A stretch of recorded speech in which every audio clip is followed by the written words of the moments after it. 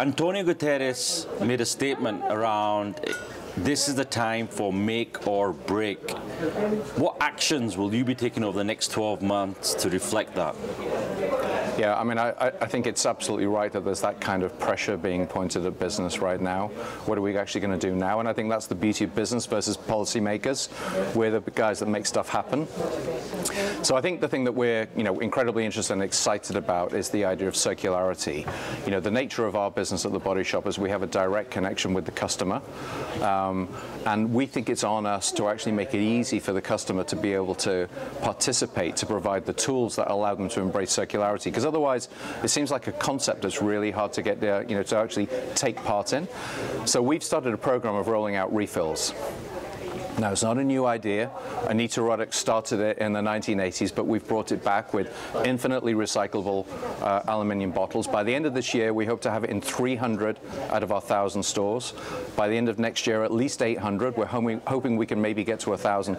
But it's a mechanism that's going to allow customers to really be able to embrace circularity in an easy, natural way.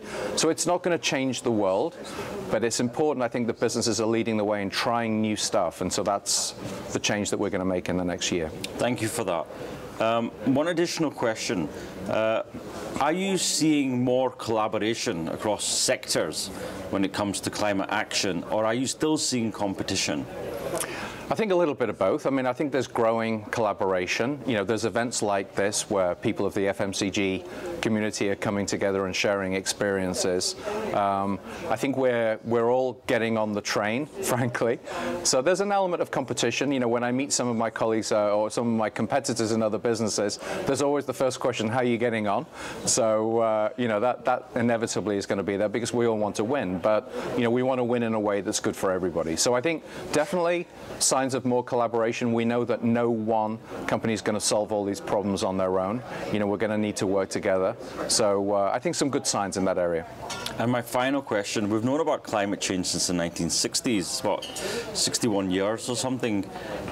What do you think is the big bottleneck or elephant in the room going forward that's going to delay this acceleration of transition that we, we, we urgently need? Yeah, I think, you know, the, the thing that really resonates with us and concerns us at the Body Shop is this idea of just transition. I think there's an awful lot of talk that's going on at the moment around transition. I think people get that, but we're really concerned about the just element, which doesn't seem to get talked about as much. So, you know, how do we ensure that nobody gets left behind on this journey?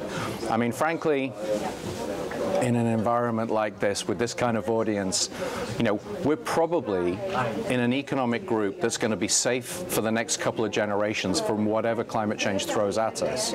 But it's not about us. It's about it's not about 500 million people. It's about 7 plus billion people on the planet and how to ensure that absolutely nobody gets left behind. And I'd like to see more discussion around the just and not just the transition.